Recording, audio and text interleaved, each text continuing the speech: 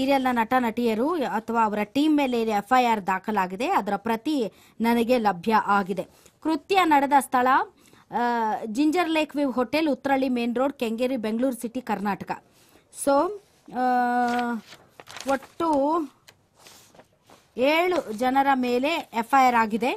Run, Rakshit famous ನಟ, ತಾವೆಲ್ಲರೂ ನೋಡಿರ್ತೀರಿ. Serial ಅಲ್ಲಿ ಸಿಕ್ಕಾಪಟ್ಟೆ famous Abhishek, A two, Ranjan, A three Rakesh Kumar A four, Ravichandran A five, Anusha A six and Sharanya A seven.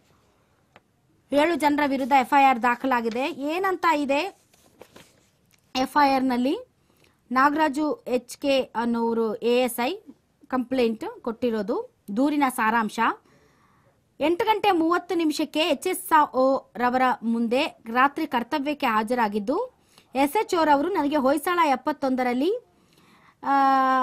Head constable Venkatesh ಮತ್ತು ಚಾಲಕ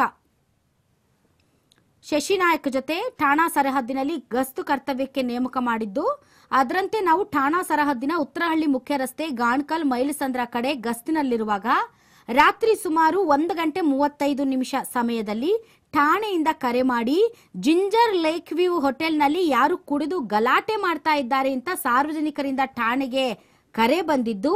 ಹೋಗಿ ಪರಿಶೀಲಿಸುವಂತೆ ಸೂಚಿಸಿದ ಮೇರೆಗೆ ನಾವು ರಾತ್ರಿ ಒಂದು ಗಂಟೆ ನಲವತ್ತು ನಿಮಿಷಕ್ಕೆ ಜಿಂಜರ್ ಲೇಕ್ ವ್ಯೂ ಹೋಟೆಲ್ಗೆ ಹೋಗಿ ನೋಡಲಾಗಿ ಹೋಟೆಲ್ ಒಳಗಡೆ ಐದು ಜನ ಗಂಡಸರು ಮತ್ತು ಇಬ್ಬರು ಮಹಿಳೆಯರು ಜೋರಾಗಿ ಕೂಗಾಡಿ ಸಾರ್ವಜನಿಕ ಶಾಂತಿ ನೆಮ್ಮದಿಗೆ ಭಂಗವನ್ನುಂಟು ಮಾಡಿ ಘನ ಸರ್ಕಾರವು ಕೋವಿಡ್ ನೈನ್ಟೀನ್ ಹಿನ್ನೆಲೆಯಲ್ಲಿ ಹೊರಡಿಸಿದ್ದ ರಾತ್ರಿ ಕರ್ಫ್ಯೂ ಆದೇಶವನ್ನು ಉಲ್ಲಂಘನೆ ಮಾಡಿದ್ದು, ಸದರಿ ಅವರಿಗೆ ಕರ್ಫ್ಯೂ ಆದೇಶದ ಬಗ್ಗೆ ತಿಳಿಸಿ ಸ್ಥಳದಿಂದ ಹೊರಡುವಂತೆ ತಿಳಿಸಿದಾಗ ಸದರಿ ಆಸಾಮಿಗಳು ಏರು ಧ್ವನಿಯಲ್ಲಿ ಮಾತನಾಡಿ ಅಲ್ಲಿಂದ ಹೊರಡಲು ನಿರಾಕರಿಸಿದರು.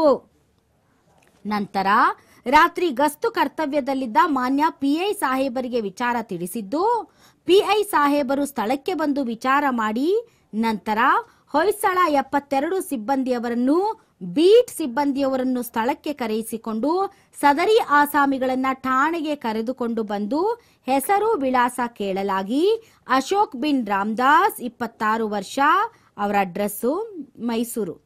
ರಂಜನ್ ಬಿನ್ ಸನತ್ ಕುಮಾರ್, ಇಪ್ಪತ್ತಾರು ವರ್ಷ, ಮಂಡ್ಯ. ರಾಕೇಶ್ ಕುಮಾರ್ ಬಿನ್ ರಾಜ್ಕುಮಾರ್, ಮೂವತ್ತು ವರ್ಷ, ಬೆಂಗಳೂರು.